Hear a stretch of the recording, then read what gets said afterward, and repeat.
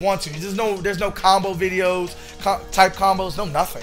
It's just too conservative when it comes to both the substitution meter and the chakra meter. Chakra meter doesn't like the fact that the can that the substitution meter and the chakra meter were two separate meters. There was a theory that you could get combos in the special, but you can't.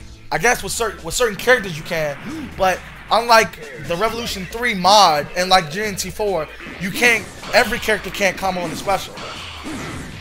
It's really just bad. It's really just it was really just design decisions that they shouldn't have went with.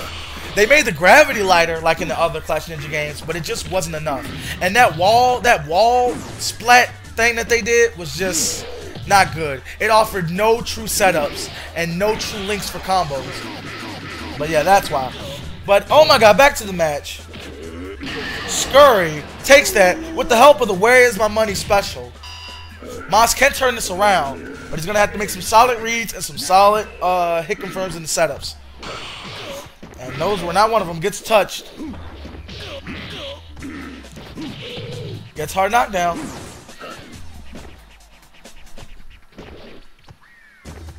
Like if the meter game was really good and special, I would regard it as the best.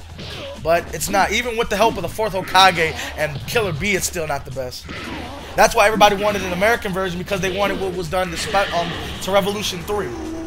Since Revolution 3 had so much stellar changes, they wanted the same thing for special when it came to America, but no